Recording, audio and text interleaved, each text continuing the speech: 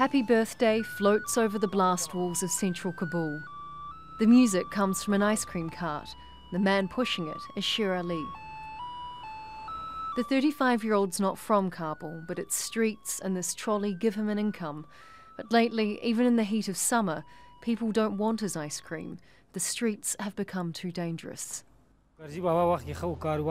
During the Karzai government, life was very good. We'd just cross the street and be sold out of ice creams. Now, from morning to evening, we can't sell them all.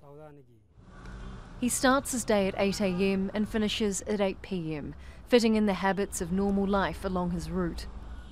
He started this job in 2002 when the Americans invaded. Back then, he says he made a lot of money. Now there are more attacks, more checkpoints, and fewer people on the streets to sell to. When I'm passing checkpoints, they think I have a bomb in my cart, so they stop me and start checking, and it's ruining my ice cream because they open the cart and it melts.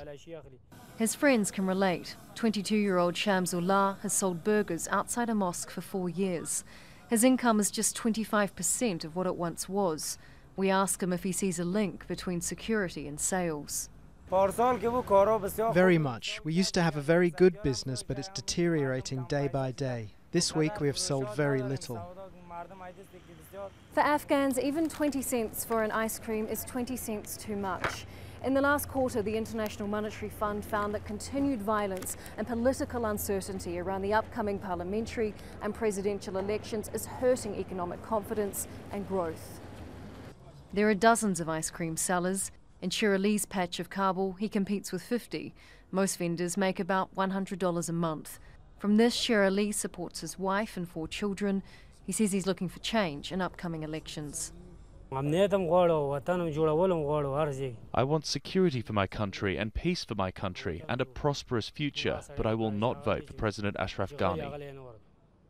Ghani came into office as international combat forces pulled out, taking with them billions in military spending.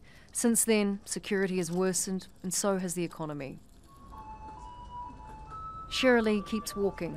Happy Birthday rings hopeful over the neighbourhood. It used to draw people out of their homes. Now, not even ice cream can draw Afghans to the streets. Charlotte Bellis, Al Jazeera, Kabul.